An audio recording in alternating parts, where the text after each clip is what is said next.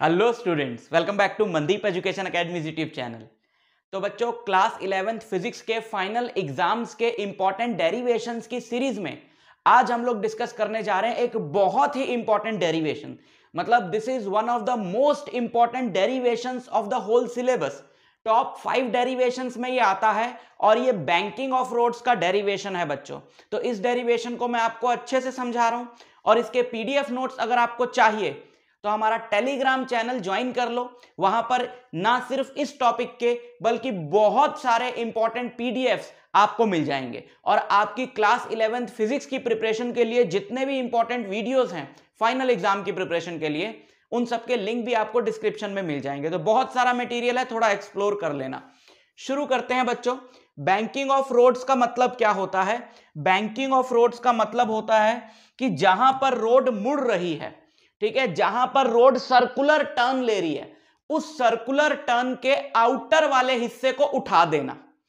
जैसे यहाँ पे मैंने एक रोड दिखाई है और मैंने स्पेशली कार का फेस इस तरफ़ बनाया ताकि आपको समझ में आ जाए कि ये ऐसे कोई स्लैंटिंग रोड नहीं है मतलब ऐसे चढ़ाई वाली रोड नहीं है, इधर आ रही है ये रोड जैसे अगर मैं यहाँ पे ये रोड का आपको थोड़ा सा थ्री पैटर्न दिखाऊँ तो आपको बात समझ में आएगी। ये जो रोड है ना, ये ऐसे मुड़ती हुई आ रही है, ऐसे। है ना, ये रोड ऐसे आ रही जैसे रेसिंग ट्रैक्स होते हैं। तो इसका जो आउटर एज है, वो थोड़ा ऊँचा है और इनर एज जो है, वो नीचा है। ऐसा हमें करना पड़ता है सर्कुलर टर्न्स पे। क्यों करना पड़ता है? उसी के बारे में ये वीडियो बनाया गया है। सर्कुलर टर्न्स पे हमको ऐसा करना पड़ता है आउटर एज को उठाना पड़ता है with respect to inner edge और इसी चीज़ को बोलते हैं बैंकिंग ऑफ़ रोड्स हम बोलेंगे कि इस रोड को हमने बैंक कर दिया क्लियर हो गई बात? अच्छा क्यों उठाना पड़ता है? बच्चों, अगर ये रोड फ्लैट होती, अगर ये रोड फ्लैट होती, अगर ये रोड फ्लैट होती, ऐसे, आउटर एज हमने उठाई ना होती तो ये जो कार हमारी तरफ़ आ रही है, ये जो कार आ रही है, ऐसे ऐसे कार आ रही है तो आप जानते हो कि कोई भी चीज़ जब सर्कल में घूमती है तो उसे सेंट्रिपिटल फोर्स चाहिए होता है। तो इसको अंदर की तरफ़, सेंटर की तरफ़ भाई, अगर ये ऐसे घूम रही है तो सर्कल का सेंटर ऑब्वियसली ये पार्ट हुआ। तो इसको सेंटर की तरफ़ एक फोर्स चाहिए होगी, वरना ये सर्कुलर टर्न नहीं ले पाएगी, है ना? बिना सेंट्रिपिटल फोर्स के कोई भी बॉडी सर्कल में नहीं घूम सकती। तो अगर ये रोड फ्लैट हो तो ये सर्कुलर टर्न लेगी तो इसको सेंट्रिपिटल फोर्स कौन प्रोवाइड करेगा? यहाँ पे तो कुछ है ही नहीं। ऐसे केस में सेंट्रिपिटल फोर्स प्रोवाइड करता है सिर्फ़ फ्रिक्शन क्योंकि बॉडी की जो नेचुरल टेंडेंसी होती है, वो रोड छोड़ के बाहर निकलने की होती है है ना? आप जानते भी हो, अगर रेसिंग रेसिंग्स वगैरह में आपने देखा होगा स्पीड थोड़ी ज़्यादा हो तो कार टर्न ले ही नहीं पाती, कार बाहर निकल जाती है। तो जो टेंडेंसी है सर्कुलर टर्न लेते हुए इस बॉडी की, वो बाहर निकलने की है। तो फ्रिक्शन उसे बचा सकता है। अगर फ्रिक्शन अंदर की तरफ़ लगे तो फ्रिक्शन ने तो यार मोशन के अगेंस्ट लगना है तो ये बॉडी बाहर निकलने की कोशिश करेगी तो फ्रिक्शन अंदर लगेगा, इसको बचा लेगा। वो इसको बाहर निकलने से चीज़ रोकेगी और इसको सर्कल में घूमने के लिए सेंट्रीपिटल फोर्स मिल जाएगी। लेकिन ये बड़ी डेंजरस सिचुएशन है because we are relying only on the friction for safe turning अब फ्रिक्शन का क्या भरोसा भाई? बारिश आ गई फ्रिक्शन कम हो गया रोड थोड़ी स्मूथ हुई फ्रिक्शन कम हो गया। तो हमने सोचा कुछ ऐसा किया जाए कि सेंट्रीपिटल फोर्स प्रोवाइड करने का पूरा जिम्मा फ्रिक्शन पे ना आए, कोई और भी फोर्स प्रेजेंट हो जो सेंट्रीपिटल फोर्स प्रोवाइड कर सके। उसी के लिए हमने रोड को बैंक किया, यानी रोड की आउटर एज को उठा दिया। इससे हुआ क्या? इससे यह हुआ कि जो नॉर्मल रिएक्शन पहले ऐसे लग रहा था कार पे, अब वो नॉर्मल रिएक्शन लगने लगा ऐसे। क्योंकि यार नॉर्मल रिएक्शन ने तो हमेशा सरफेस के परपेंडिकुलर लगना है ना? वो नॉर्मल रिएक्शन लगने लगा ऐसे एन तो उस नॉर्मल रिएक्शन का एक कंपोनेंट ये अगर ऐसे आ रहा है, ये सर्कल ऐसे है, ये सर्कल ऐसे है तो सेंटर कहाँ होगा इस सर्कल का? इस तरफ़ होगा ना? तो इस तरफ़ अपने को एक फोर्स चाहिए जो सेंट्रीपिटल फोर्स प्रोवाइड कर सके। तो अगर ये टेढ़ा हो जाएगा, जब कार बिल्कुल फ्लैट चल रही थी तो ये ऊपर था, पूरा ऊपर चला गया। जब कार फ्लैट चल रही थी तो ये ऐसे था तो इधर इसका कोई कंपोनेंट था ही नहीं, क्योंकि किसी भी वेक्टर का 90 डिग्री पे कोई कंपोनेंट नहीं होता। लेकिन जब ये ऐसे टेढ़ा हो गया ना बच्चों तो इसका एक कंपोनेंट आपको इधर मिलेगा और वो कंपोनेंट इसको सेंट्रीपिटल फोर्स प्रोवाइड करेगा, है ना? वो कंपोनेंट इसको सेंट्रिपिटल फोर्स प्रोवाइड करेगा। फ्रिक्शन तो है ही। भाई, रोड तो अभी भी रफ ही है ना? ऐसा तो है नहीं कि फ्रिक्शन खत्म हो गया। फ्रिक्शन तो है ही, लेकिन फ्रिक्शन की मदद कर रहा है। अब ये कंपोनेंट, फ्रिक्शन किधर होगा? अभी भी रोड की जो, अभी भी कार की जो टेंडेंसी है बाहर निकलने की है तो ऑब्वियसली जो फ्रिक्शन लगेगा, वो रोड के अलोंग लगेगा, ऐसे जो कार को बाहर निकलने से बचाएगा। है ना तो ये फ्रिक्शन है। अब जरा पहले इन फोर्सेस का काम तमाम कर दें। ये एन है, ठीक? आप जानते हो? अच्छा ये एंगल मान लेते हैं थीटा है। दिस एंगल इज़ थीटा इसको हम लोग बोलते हैं बैंकिंग एंगल क्योंकि इतने पे हमने इसको उठाया है, ठीक? अच्छा alternate interior angle zoom zoom zoom तो ये एंगल भी क्या होगा? थीटा ठीक है? अगर ये फ्रिक्शन है एफ़ तो इस फ्रिक्शन का ये कंपोनेंट होगा एफ़ कॉस थीटा और फ्रिक्शन का इस तरफ़ एक कंपोनेंट होगा एफ़ साइन थीटा फ्रिक्शन का फ्रिक्शन के जो कंपोनेंट्स हैं, हम उसको येलो से बना लेते हैं, ठीक है? फ्रिक्शन के कंपोनेंट्स को हम लोग येलो से बना लेते हैं। फ्रिक्शन का ये कंपोनेंट हो गया एक, ये, और एक कंपोनेंट इधर है। ठीक है? ये। समझ गए? व्हाइट वाला तो है ही, वो तो नॉर्मल रिएक्शन का है तो फ्रिक्शन के कंपोनेंट्स हमने येलो से बना लिए। ठीक? समझ गए? तो ये कौन कौन से कंपोनेंट्स होंगे? ये कंपोनेंट है फ्रिक्शन का एफ़ कॉस थीटा और ये कंपोनेंट है एफ़ साइन थीटा ये कंपोनेंट है एफ़ साइन थीटा ओके अच्छा कार का वेट कैसे लगेगा? भाई वेट तो हमेशा वर्टिकली डाउनवर्ड लगता है। तो इस कार का जो वेट है एम को हम लोग पिंक से लिख लेते हैं, है ना? इस कार का वेट जो है, वो यहीं लगेगा वर्टिकली डाउनवर्ड इसी कंपोनेंट की डायरेक्शन में, ऐसे। और इस एम के भी अगर हम लोग दो कंपोनेंट्स करें तो एक कंपोनेंट इधर परपेंडिकुलर टू द प्लेन ये, है ना? थोड़ा साइड में लिख देते हैं। ये तो ये हो गया हमारा एम जी ये हो गया हमारा एम जी और एम जी का ये कंपोनेंट इधर, आप जानते हो कि ये वाला एंगल भी थीटा होता है, और एम जी का एक कंपोनेंट इधर डाउन द प्ले ये। क्लियर तो ये कौन कौन से कंपोनेंट्स हैं? ये है, ये ये ये तो एमजी है, ये तो एमजी खुद है। और ये एंगल होता है थीटा तो आप जानते हो कि ये एम जी कॉस थीटा होता है। और ये वाला जो पिंक वाला कंपोनेंट है, ये एम जी साइन थीटा है। इसकी ज़रूरत नहीं पड़ेगी तो हम लिखते नहीं। बहुत मिक्सअप सा हो जाएगा। ठीक है, यहाँ लिख दूँ। चलो मैं लिख देता हूँ बट इसकी डेरिवेशन में ज़रूरत नहीं है। This is M G sine theta और ये वाला हमारा जो कॉम्पोनेंट था फ्रिक्शन का, ये वाला कॉम्पोनेंट था एफ़ साइन थीटा, है ना? ये कंपोनेंट था फ्रिक्शन का F sine theta. Okay, normal reaction के कंपोनेंट्स हमने बना लिए। एक तो ये हो गया, देखो, एक कंपोनेंट ये होगा, है ना? एक कंपोनेंट ये होगा। तो अगर ये एंगल थीटा है, वर्टिकली अपोजिट एंगल्स तो ये वाला एंगल भी क्या होगा? थीटा। और एन का ये वाला कंपोनेंट क्या होगा? थीटा एंगल पे जो कंपोनेंट होता है, वो क्या होगा? N cos theta. और इधर वाला, ये जो व्हाइट वाला कंपोनेंट है ये होगा एन साइन थीटा ठीक है? घबराओ मत, इतने ही है। बहुत ईजी है। थोड़े लाइंस ज़्यादा हैं तो बच्चों को थोड़ी सी कंफ्यूजन हो जाती है। एक बार रिवाइंड करके देख लेना, बहुत ही आसान है। ठीक? अच्छा हमें तो सिर्फ़ ये चाहिए कि इधर कौन सी फोर्सेस आई?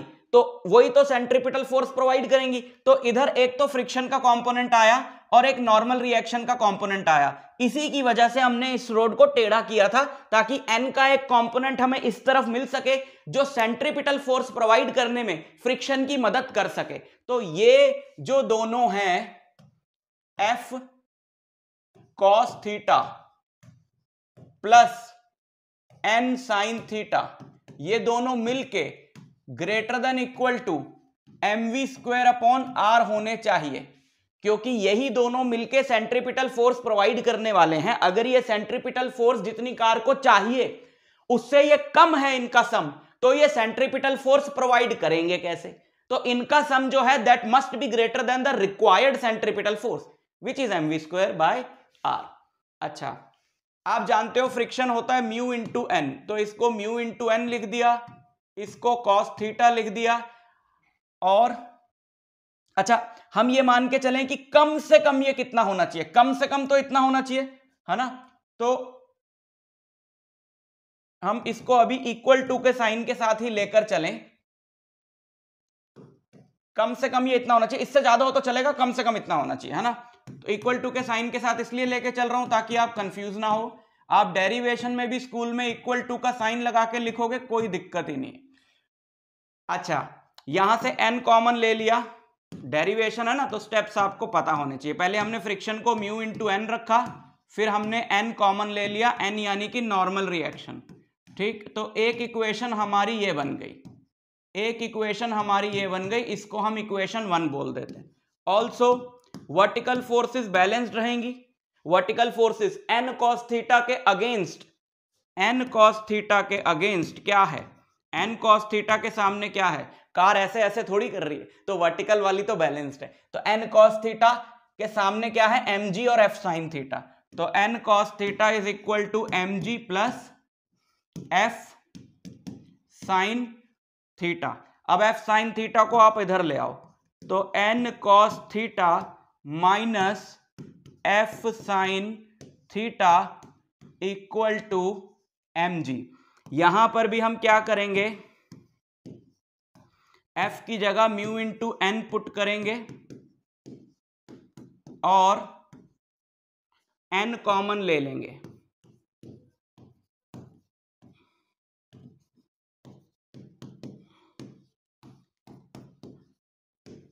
और ये हमारी दूसरी इक्वेशन हो जाएगी, ठीक है? एन अपने को नहीं चाहिए तो हम फ़र्स्ट और सेकंड को डिवाइड कर देंगे, ठीक है?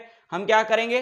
फ़र्स्ट और सेकंड को डिवाइड कर देंगे। तो पहले ये लिख लो N into mu cos theta plus sine theta N into mu cos theta plus sine theta equal to M V square over R divided by दूसरी वाली equation N into cos theta minus mu sine theta N into N into cos theta minus mu sine theta and that is M G ठीक है? तो जो जो cancel हो रहा है कैंसिल कर दो। एन से एन कटेगा यहाँ पे एम से एम कटेगा। So V square by R G की वैल्यू इसको इधर लिख लो। V square by R G की वैल्यू ये आएगी बच्चों। और अगर मैं इसको ऊपर नीचे साइन थीटा या कॉस थीटा से डिवाइड कर दूँ। चारों टर्म्स को मैं, देखो वैसे तो उस फॉर्म में भी छोड़ा जा सकता है। ऐसी कोई दिक्कत नहीं है। लेकिन साइन और कॉस दोनों है ना तो हम चाहते हैं थोड़ा सा सिंपल हो जाए फॉर्मूला। तो अगर हम ऊपर नीचे कॉस थीटा से डिवाइड कर देंगे तो देखना जरा क्या बचेगा।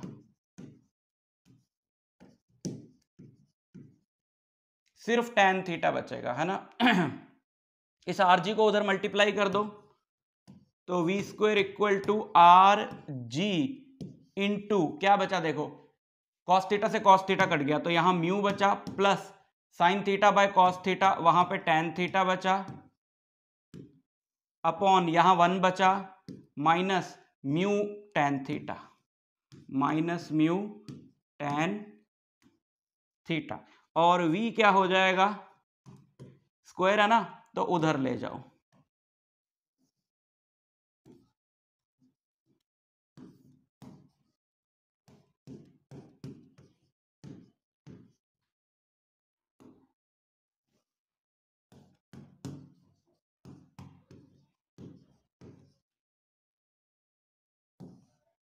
तो ये है बच्चों वेलोसिटी का फॉर्मूला ये है